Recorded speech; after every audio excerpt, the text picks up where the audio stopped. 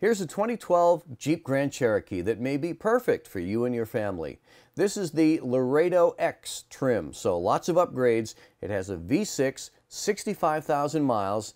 Outside you've got fog lights, heated mirrors, moon roof and roof rails, backup sensors, and inside it is really, really nice. It comes with navigation, a great audio system, dual zone AC, even remote start and power seats. Now, this is a five passenger Grand Cherokee with plenty of cargo room. As you know, we know Grand Cherokees here at Elmwood, and this one is in terrific condition and ready for a new owner. See it here at Elmwood Auto Group.